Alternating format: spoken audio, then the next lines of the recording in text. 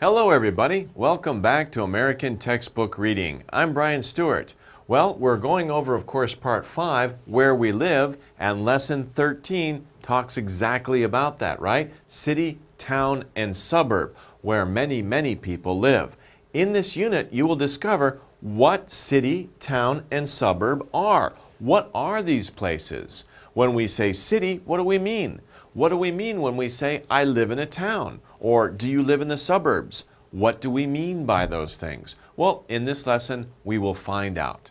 First of all, let's talk about a city. What is a city? If somebody says, I live in a city, what kind of image do we get in our heads? Well, the definition for city is a place where many people live and work. This is key, right? Many people live and work in a city. A lot of people. So, as you can see, a city, this is a good picture of a city. A city has many tall buildings, right? These tall buildings are called skyscrapers because it seems like they scrape the sky. They're so tall they reach up to the sky. There's many streets, a lot of traffic, a lot of movement, people moving back and forth. Usually there are big subway systems, lots of buses, a very developed uh, place, environment for people to live and to work. That's a city, a lot of people in a city. Now, sometimes people don't like to live in the city because it's too crowded. There's too many people living in the city. So they want to live outside the city, but not far outside the city because maybe their job or their office where they work is in the city. So they don't want to drive for a very long time. So they just move right outside the city and they move to the suburbs, a place that is close to a city. And we usually say uh, suburbs. I live in, I live in the suburbs. And usually people will say it as plural. I live in the suburbs. And suburbs can be an area like this. You know, it's not as crowded, the buildings are not as tall, and they're just homes. Homes, homes, homes, homes, homes, homes. No real tall office buildings or other types of businesses or factories or things like that in the suburbs. Suburbs are almost 100% homes. Yes, you have schools, fire stations, police stations, but mostly you have homes. For example, in Seoul, what are some suburbs of Seoul? Well, of course, you have Gwangmyeong, right? You have Ilsan. These are places that are not in the city center where you have really tall buildings. It's places where people go to live and they commute. They commute to the city. Commute means that they go to work in the city, commute to the city. You commute, you travel to your job. So you live close to a city so that your commute is not very long. Commute can be a verb, it can also be a noun. My commute is 30 minutes. That's a noun. As a verb, I commute to work every day. I travel to work. I travel to the city. So suburbs are very close to the city, so people can commute very easily. Now, a town. A town is a place that is like a city, similar to a city, but smaller than it, smaller than a city. What is the difference between a city and a town? There's no real set definition saying this is a city, this is a town. It's more of a feeling. When you're in a city, you know you're in a city. Very big buildings, right? Very tall skyscrapers.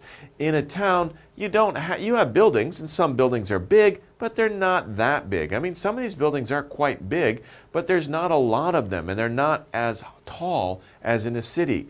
There's not as many people in a town. Sure you have streets you have uh, street lights you might have buses but maybe maybe you don't have a subway system or maybe the subway system is very small.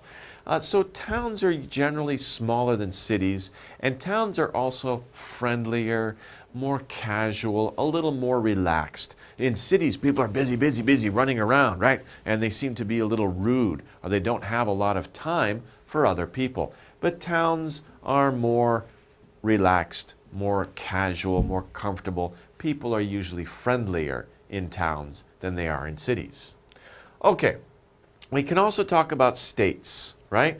A state, of course, in a state, and this is a map of America, a state is a part of a country that includes villages, towns, and cities. A state can be very big, like Texas, or it can be a small state like Rhode Island over here. They're just large areas of land, and inside the state, there are cities, towns, and villages. Village, by the way, is a very, very small town. Maybe only a few, you know, 50 people live there, 100 or a few hundred people live there. That's a village, very small town. And of course, each state has one city that is the capital of that state, right? So, for example, Nevada, Reno is the capital of Nevada, right? Or, uh, for example, California, Sacramento, Sacramento would be the capital of California. These states all have a capital city, one city that is the most important, right? That's their capital city. But they also have towns, they have villages, and of course, many cities have suburbs. But this is a good map of the United States showing all the 50 states. These are 48 states altogether, and then the two extra states. Alaska's up here, Hawaii's over there, out in the Pacific Ocean. Okay, Location, of course, we're talking about location. Location, location, location is very important. A place where something or someone is. So, something or someone, where is that person? Where is that place? That is the location. So, what is the location of New York City? It's right there. That's the location. You look at a map and you can find it. Now, Where's the, where is my location? My location, of course, I can find on a map. This is my location. If you look at a map, you can look at your cell phone, right? Open the Maps app, and you can find your location. It shows you. It's a little triangle showing you your location on the map. So it's a place where something or someone is. That is location. Border we saw, remember the map that we saw of the United States, the 50 states? We saw lines between all the states. Those are borders. Borders are lines that are between countries or states. A line that is between countries or states. Because you have to know your location. Are you inside the border or outside the border? If you're in Belgium, are you inside Belgium or are you outside Belgium, right? You know that if you know where the border is, right? If you're out if you're inside Belgium, you're here. If you're outside Belgium over here, you're in another country. You're in Germany, right? And also in Belgium, you can see the the national borders and you can see the state borders or I'm not sure what they say. They may not say states in Belgium, but they have the regional borders too. So you have national borders, national borders, and you have state borders or province borders. Some countries don't say states, some countries say province, right? Like Canada. Uh, they have different provinces. Okay, so uh, you can have national borders, which are the borders showing the nation, or you can have inside the nation either state borders or provincial province borders, the borders of a province. Okay, so there are many types of borders.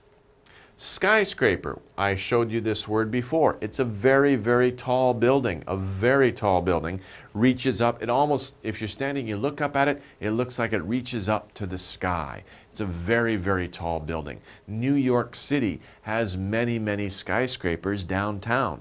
Many other big cities have very tall skyscrapers. Now, we have our chart here showing these different locations that we've been talking about. There are different communities. We can see details for each city, suburb, town. A city, many people live and work here. Many people, that's the key. So many people. There are many skyscrapers. You can see many, many tall buildings. Streets are filled, filled with cars, buses, and trucks. So the streets are very busy a lot of traffic. Maybe there's a traffic jam. Let's take a look at New York City. This is downtown New York City. This is, I believe, Times Square. You can see so many people here. And look at these buildings. They're very, very tall. tall skyscrapers, lots of advertising going on, many, many people. Of course, a lot of these people are probably tourists, but also there are many people who live and work in this area, and there's a lot of traffic going on. Cities are very, very busy places. Now, a suburb is not so busy, right? You don't see so many people walking around. You do see them, but not as many as in a city. A suburb is located near a city. So it's on the edge of the city. It's a short commute into the city. There are many homes and apartments, more homes and apartments, not so many businesses. There are many more businesses in a city than there are in the suburbs. The suburbs are, the suburbs are for homes. Suburbs are where people live, not really where they work or where they uh, do their business, but the city is the place that has offices and businesses, more businesses. Of course, in the suburbs, you can find schools and stores, but mostly you find houses, homes, and apartments. Many people in a suburb have jobs in the nearby city, so they live close to the city. They have a short commute to the city. Of course, if there's a lot of traffic, that commute can be very long, so that's an unfortunate thing. Okay, then we also see a town. A town is away from a city. A town is not really connected to a city. Okay? Uh, it's got its own character. It's away from a city. Now, it's interesting when you think about Seoul. Seoul has grown, and it's grown until it has touched other cities in the area, right? Suwon is another city. But if sometimes you don't know, if you drive from Seoul to Suwon, it's all city. So in that case, we can call those types of cities satellite satellite cities. It's when a city like Seoul grows and it touches other cities. Those other cities become satellite cities to the big city. Suwon is a satellite city of Seoul. Okay? But a town is out in the country, right? It's a smaller type of city, but it's out in the country. Like, for example, Sokcho. I went to Sokcho a while ago to visit the East Coast and to see Soraksan. And Sokcho, it's not a village, it's not a city, it's in between. It's a town. It's a small version of a city. It's away from a city, it's smaller than a city, it has less homes, schools, and buildings than a city. And you can see this is a nice little town. You do have a, uh, a center. This is probably the town government building. That's the center of the town. You can see a church. We can see some businesses. But the buildings are not tall, and there's lots of trees around. This is a good example of a town. You can see the streets are small. There are people walking along, but there's no, in this case, there's no traffic. There's no cars. And look at how friendly people are.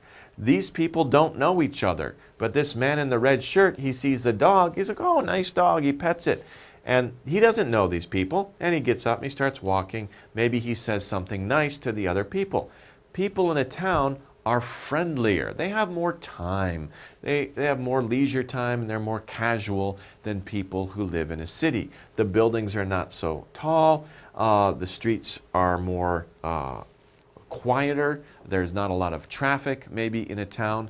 There's just less people, less businesses, less traffic than in a big city. This is a good example of a town. And like I said before, you can't really say, uh, this is what a city is, this is what a town is. It's more of a feeling, right? When you're in a city, you feel, wow, I'm in a city, it's very busy, tall buildings, lots of traffic.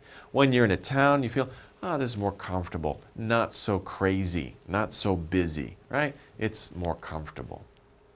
Okay, let's match our words to the definitions. Here we have our words city, suburb, suburb, town, town, state, location, location, and border, border.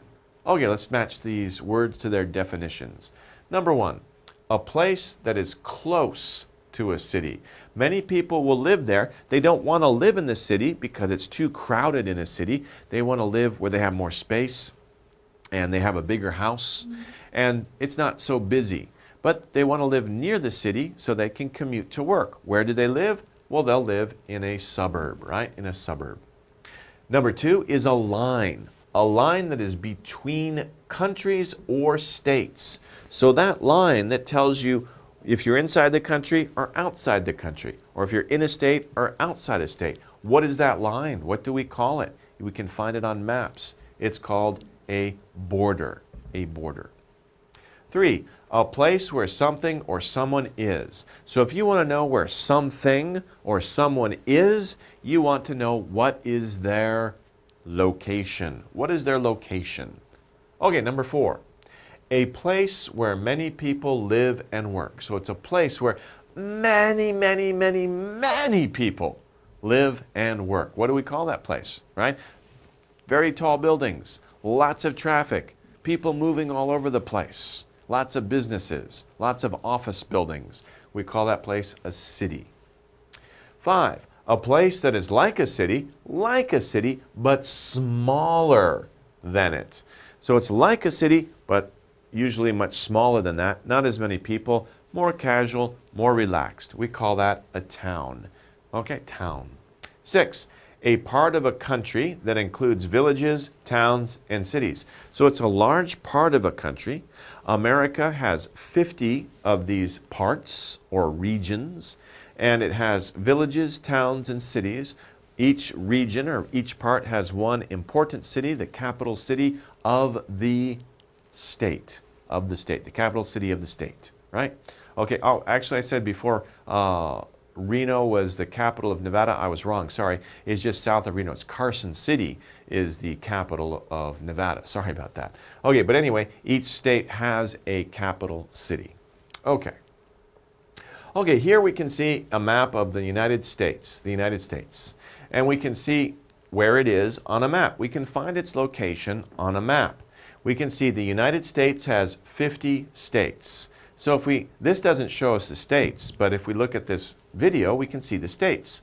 And look, the states are moving up and down because the people in those states are jumping up and down, right? No, that's crazy, okay? It's just a fun graphic that helps you see what the states are, right? They're all moving up and down. I just stopped it here uh, so that you can see. You can see California is separate from Nevada. And of course, these lines are the borders of the states. Okay, and over here, well, can, it's hard to see New York.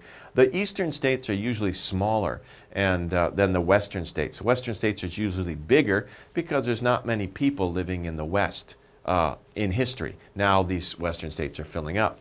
But uh, eastern states are usually smaller. Of course, Florida is pretty big, but Texas is one of the biggest states in America.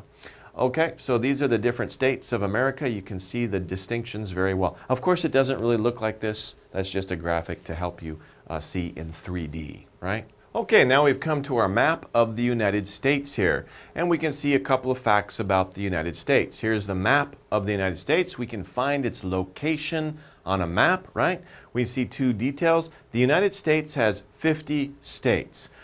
We don't see the states because the borders are not on this map, but if we take a look at a video, we can see the borders of the 50 states very easily here. And in fact, wow, they're moving. They're going up and down. Why? Because everybody in these states are jumping up and down, right? No, that's crazy. It's just a graphic, right? It's made to show you very easily uh, the, the, the differences between the states, right?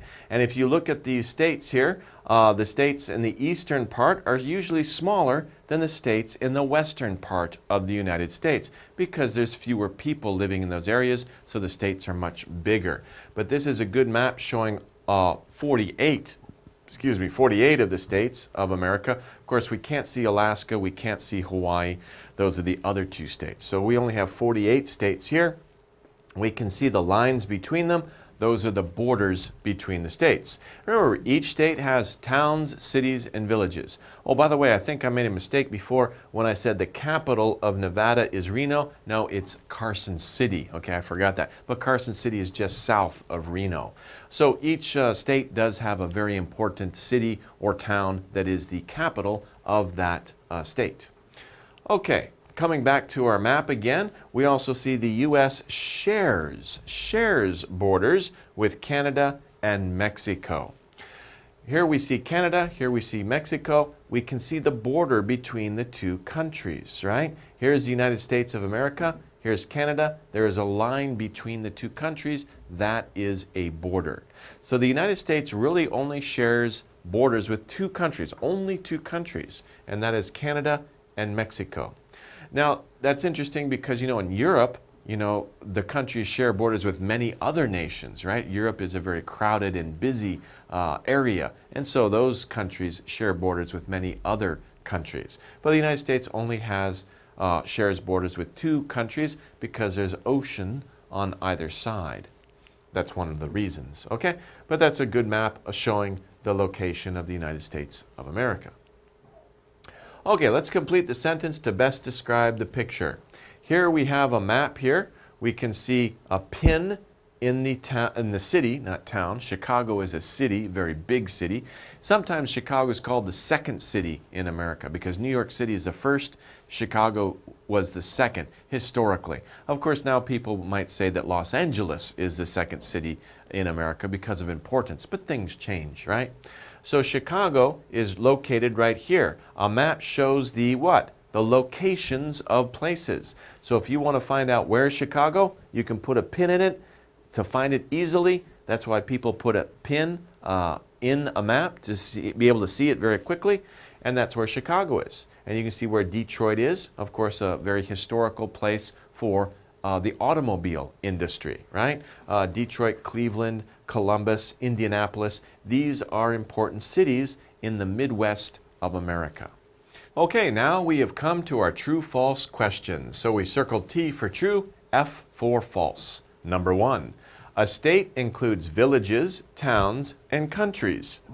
So inside a state, we can find villages, we can find towns, and we can find countries inside a state. Is that true? Does that sound correct?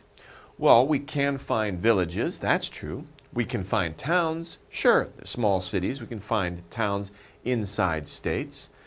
We can find countries inside states. That's not true, right? That's false because a state is inside a country. A country is not inside a state, right? If we have a country, and my artistic skills are not very good, I'm sorry. If we have America, that's America, looks like a strange elephant. Okay, but of course, this is a country. Inside America, we have different states. Again, I'm not a very good artist, but these are states. They're inside a country. You can't put a country like Germany is not located inside California. That's crazy. Germany is a nation, right?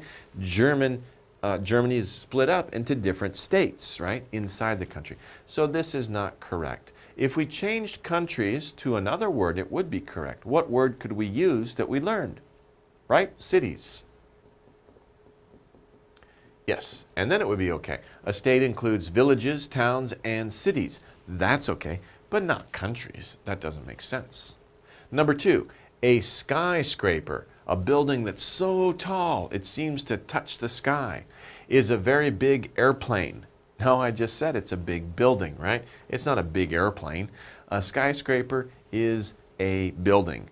Uh, they're trying to trick you because, you know, a very big airplane flies high in the sky, it can scrape the sky, but we don't call airplanes skyscrapers. We only call uh, buildings skyscrapers. So we would have to change airplane to building. If we did that, then the sentence would be okay, but we have to change it so it's false.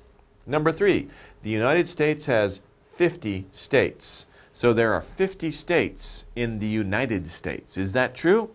Yes, that is true. Remember, we saw a couple of maps, right? And remember that map with the states going up and down? Remember, I made a point of saying there are only 48 of them on that map. We couldn't see Alaska and Hawaii, two more states that add up to 50.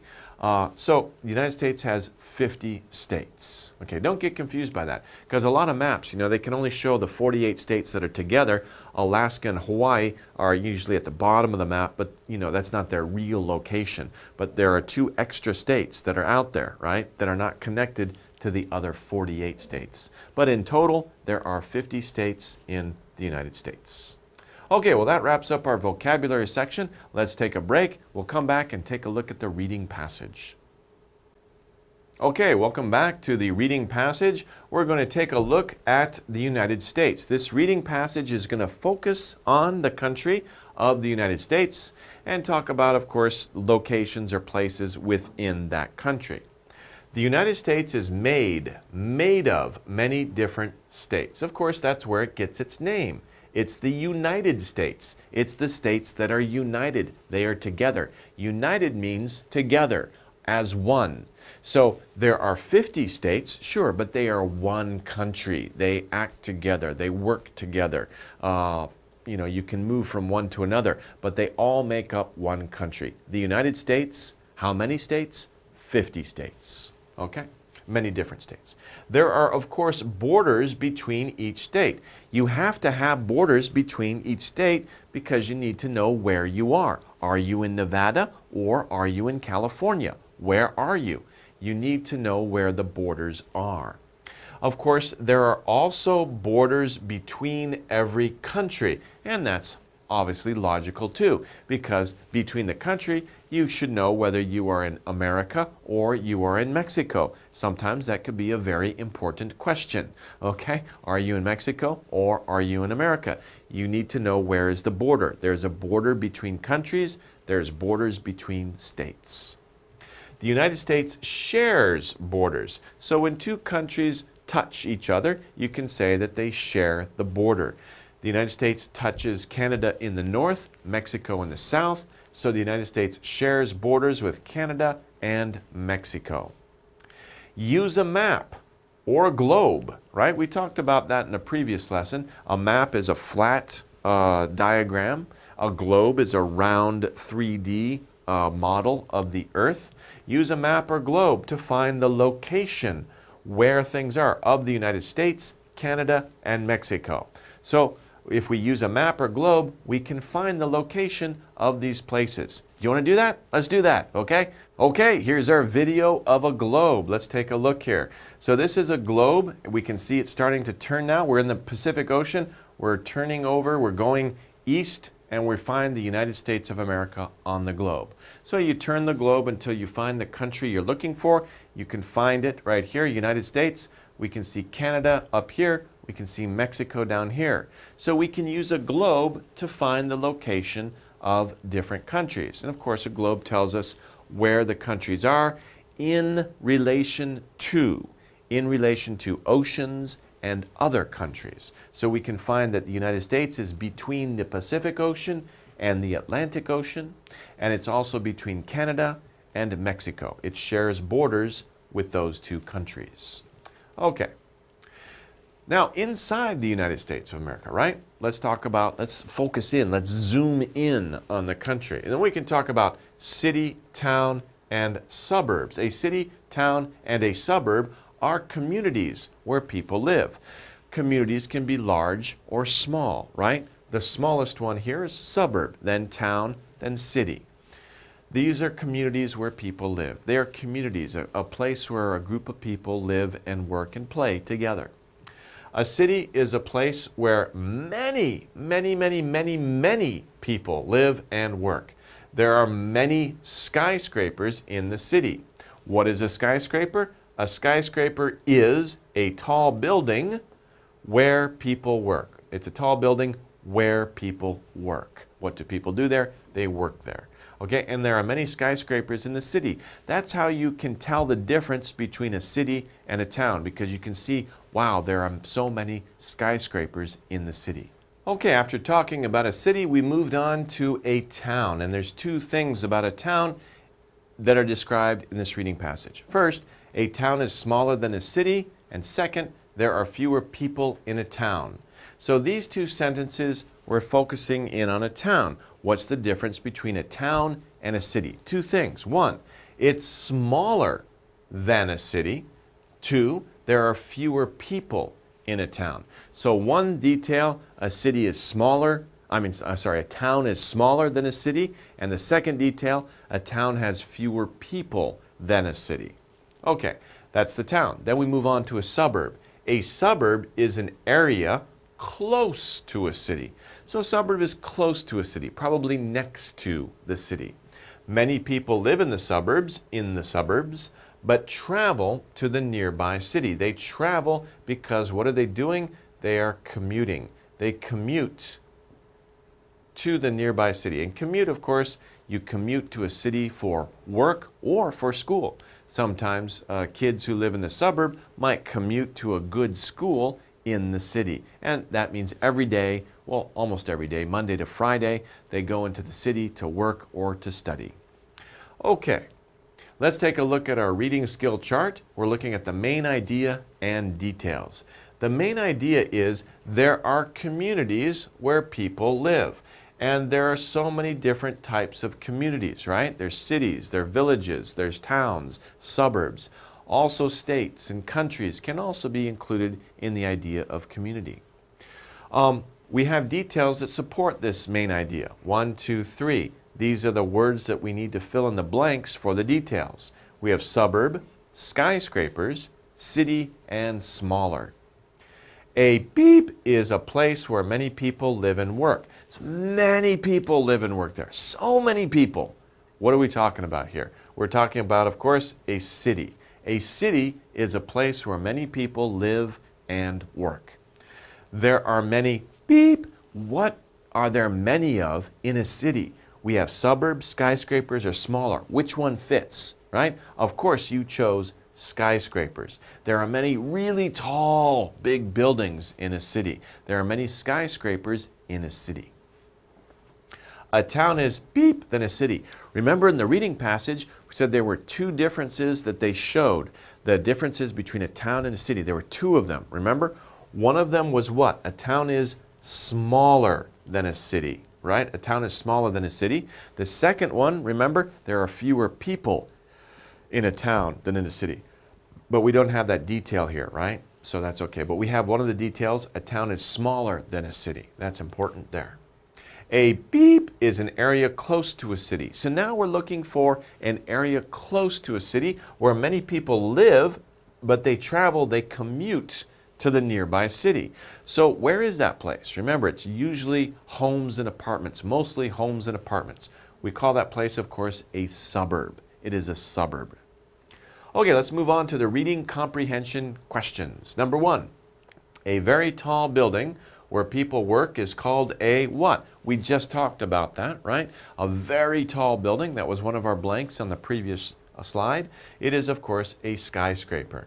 Not an apartment, right? Because people don't generally work in an apartment unless they're working at home, but usually an apartment is for living. And a border is not a building, right? So that's not the correct answer.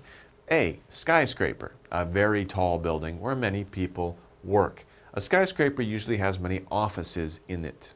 Okay, number two, you can use a what to find the location of a state. How can you find the location of a state? Do you use a border and a city? That doesn't sound right. That won't help you. A map or a globe? Yes, a map or a globe. You can use a map or a globe to find the location of a state. You can also use a map and globe to find the location of a town, a city, or a country. But you can use a map and a globe to find the location of many places, not just a state, but that's true. Uh, that's the best answer for that one. See, border and skyscraper? That doesn't make sense. You can use a skyscraper to find a uh, state? That's silly, right? Map and globe are the objects that you use to find the locations of places, and a state is a place. So it's B. Okay, question number three. A city is a place where many people work and. So we see one true thing, a place where many people work. We're looking for another true statement about a city. Which one is another true statement about a city? A. And it has many borders around it. What? That sounds weird. We didn't talk about borders when we're talking about a city, so that's kind of silly, right? That's not right. B, and it's much bigger than a town. Remember in the reading passage, we saw two details about a town. One of the details was a town is much smaller than a city.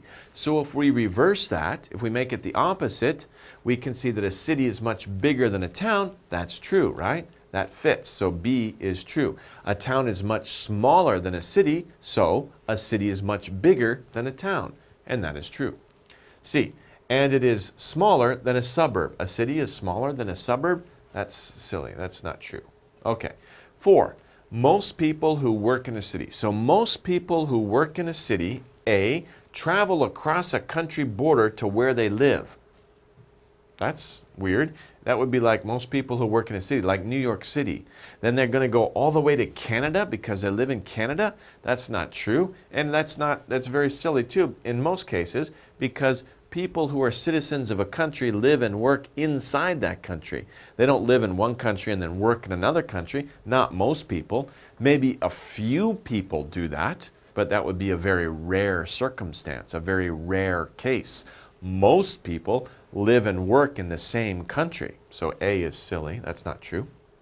B, most people who work in a city travel from a suburb where they live. Right? We talked a lot about that. We said that they commute. They live in the suburb and they travel to the city. That's called a commute. That is true.